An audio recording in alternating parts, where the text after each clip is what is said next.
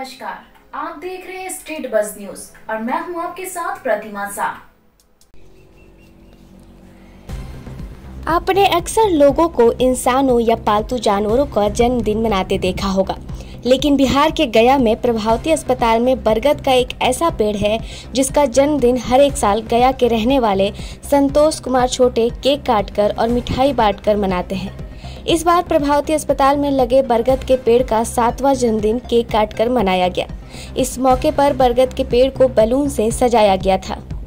बता दें कि गया शहर के प्रभावती अस्पताल में पर्यावरण दिवस के मौके पर संतोष कुमार छोटे ने बरगद का पेड़ 5 जून 2016 को लगाया था, जिसका हर एक साल केक काटकर बर्थडे मनाया जाता है।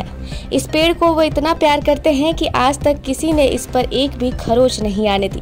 साथ ही वहाँ मौजूद सभी लोग पेड़ बचाने का संकल्प भी लेते हैं।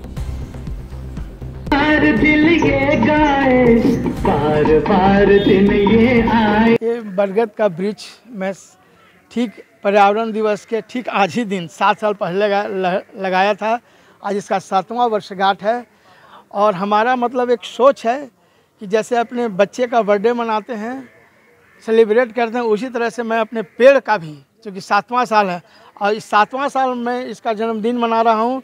आप देख रहे हैं कितने ये हॉस्पिटल में है, कितने लोग उत्साहित हैं, कितने लोग इस, सभी लोग इस पेड़ का सेवा करते हैं, और पेड़ आज के डेट में छाएदार ऑक्सीजन देने लायक हो गया है। ये तो बहुत ही अच्छा पहल है और मैं सबको बोलूँगा कि अपने स्तर से अपने बच्चे के नाम पे अपने किसी पूर्वजों के नाम पे एक पेड़ ज़रूर लगाएँ और वो पेड़ का जब तक सेवा करें तब तक वो पेड़ जब तक वो छाएदार फल देने लायक नहीं हो जाए तब तक उस पेड़ का सेवा करें। किस तरह से बनाए बर्थडे किस तरह सजाया गया था? और हमारा प्रयास रहता है कि जैसे अपने घर में बर्थडे मनाते हैं बच्चों का उसी तरह से क्योंकि पेड़ हमारा जीवन का अंग है तो मैं पर, हमारा प्रयास रहा कि मैं भी बच्चे की तरह ही इस पेड़ का जन्मदिन मनाओ। आप देख रहे हैं कि केक भी हम लोगों ने काटा, मिठाई भी बांटे और सभी लोग खुशी से बर्थडे को सेलिब्रेट किए। मैं संतोष कुमार, छोटे। देश दुनिया की खबरों से अपडेट रहने के लिए देखते रहिए स्ट्रीट बस। यदि आपने हमारे चैनल को सब्सक्राइब नहीं किया है तो आज ही सब्सक्राइब करें। धन्यवाद।